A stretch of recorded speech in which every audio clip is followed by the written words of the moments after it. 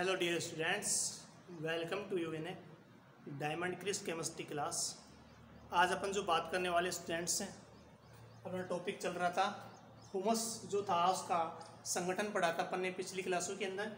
Humus का जो रासायनिक संगठन था, वहाँ पर वो देखा था कि कार्बन कितना होता है ऑक्सीजन कितने पाए जाते हैं।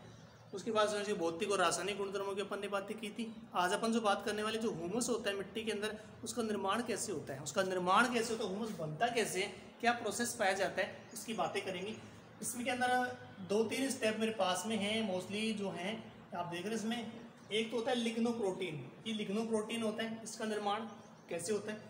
रोधी अणु होते हैं, ये जीव उत्तक निर्माण कैसे करते हैं? अमोनिया कैसे बना पाते हैं? वो उसमें देखना है। और प्रोटीन मिट्टी का जो क्ले होती है अपने पास, इसको क्ले बोलते हैं।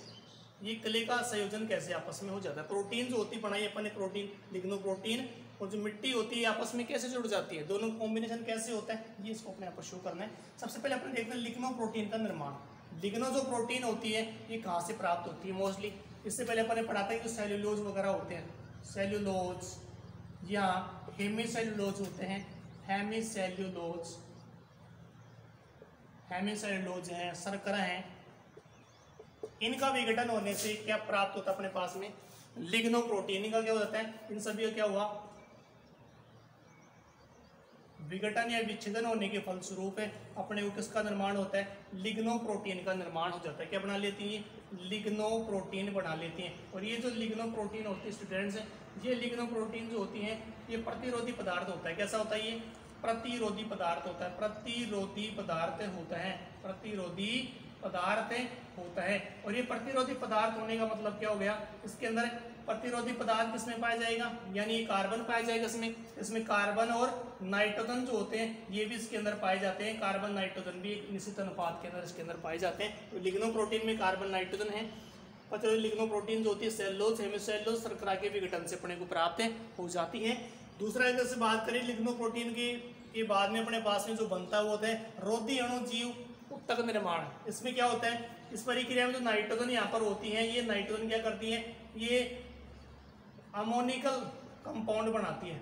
अमोनिकल कंपाउंड क्या होते हैं? अमोनिया। जिसमें एन एस थ्री पाया जाता है जैसे एन एस थ्री होता है जैसे अमोनिकल कंपाउंड। अमोनिया के अंदर कन्वर्ट हो जाती है किसमें कन्वर्ट हो जाती है। अमोनिया के अंदर ये कन्वर्ट हो जाती है। और जैसे ही अमोनिया के अंदर कन्वर्ट हो जाती है इसमें क्या होगा?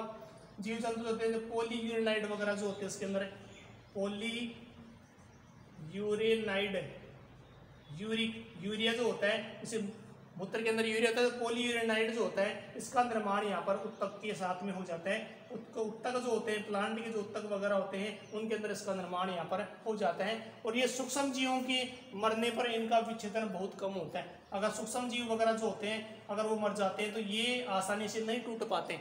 सूक्ष्म जीवों की प्रेजेंस में इनका विघटन नहीं हो पाएगा। ये ऐसे कैसे मिट्टी के अंदर प्रजेंट वहाँ पर रहेंगे। अब जैसे मिट्टी के अंदर ये ऐसे प्रजेंट हो गए तो आगे जाकर के क्या करते हैं ये? जो प्रोटीन अपन ने बनाई थी ये वाली, कौन सी वाली? लिग्नो प्रोटीन ये लिग्नो प्रोटीन जो होगी, वो किसके साथ मिल जाएगी? मिट्टी के साथ। मिट्टी का जो होती है, उस मिट्टी के साथ में मिल जाएगी। दोनों का कॉम्बिनेशन हो जाएगा।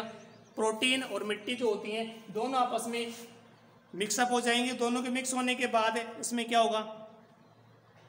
हुमस का निर्माण वहाँ पर हो जाएगा। और हुमस जो होगा, एक पौष्टिक पदार्थ होता है किसके लिए प्लांट्स के लिए, वृद्धि के लिए। तो ये हुमस का जो निर्माण हो रहा है किस पर डिपेंड करना है? प्रोटीन मृतिका के लिए के निर्माण के ऊपर डिपेंड करता है। जैसे ये निर्माण यहाँ पर हो जाएगा।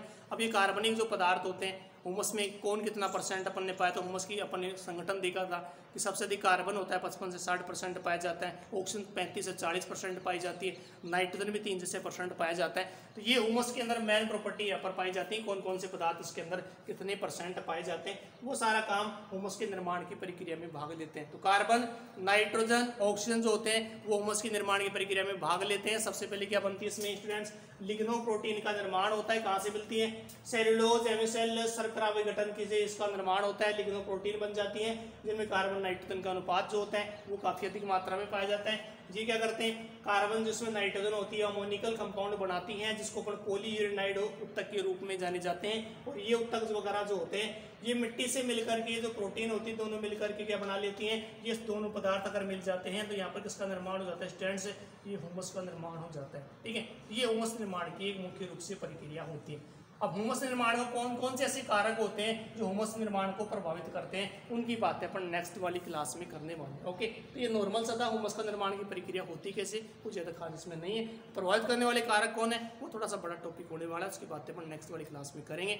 आर्टिकल स्टूडेंट्स आप ऑनलाइन क्लासों का आनंद ले रहे हैं, बड़ा नॉर्मल सा है, ज़्यादा हार्ड केमिस्ट्री वाला पार्ट इसमें नहीं है। थोटिकल पार्ट ज़्यादा है एग्रीकल्चर पार्ट के अंदर। इसमें थोड़ा सा बस अपने टेक्निकल जो वर्ड होते हैं, ये ligno protein protein hemicellulose cellulose वगैरह होते हैं, इनका थोड़ा सा अपने को पता होना चाहिए ये शर्करा कार्बोहाइड्रेट टूटेंगे जुड़ेंगे क्या होता है। बाकी प्राकृतिक चीज़ें नॉर्मल चीज़ें अपने वातावरण के अंदर देखते रहते हैं नेचुरल है।